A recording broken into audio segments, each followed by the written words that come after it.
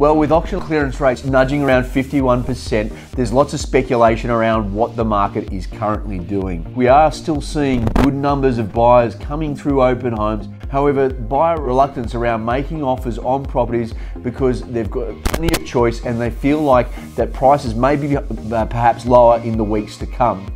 If you're looking to sell your property, there's a few things you can do to make sure that you guarantee buyer urgency when it comes to um, you know, them making offers on your property. Uh, firstly, make sure that your property is well presented. I know it goes without saying, but make sure you fix up all those little odds and ends that have been nagging you for a while so that the place presents at its best.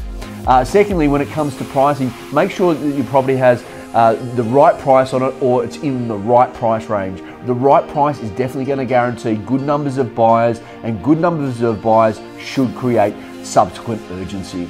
If you are a buyer out there in the marketplace and you're hoping to find your dream home, um, but you're not having the success that you, you would have expected as a result of putting offers in, there's a few things you can do to strengthen your case.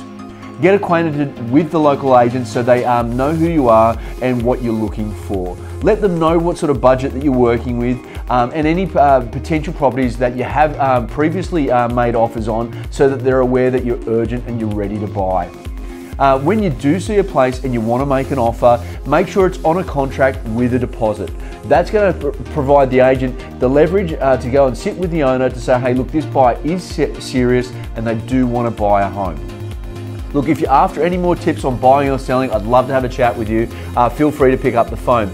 Uh, the Hills Living team have got a few properties coming up over the course of the next few weeks. Details up here on screen. We'd love to see you out and about. We've got 23 Cambridge Avenue in North Rocks going to auction this weekend. I'd love to see you there, and I'll see you next week.